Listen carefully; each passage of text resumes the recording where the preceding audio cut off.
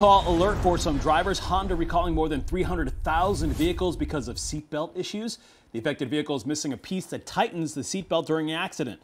The recall impacts some 2023 and 2024 Accords, as well as HR-Vs. Honda said it is contacting impacted owners after January 8th.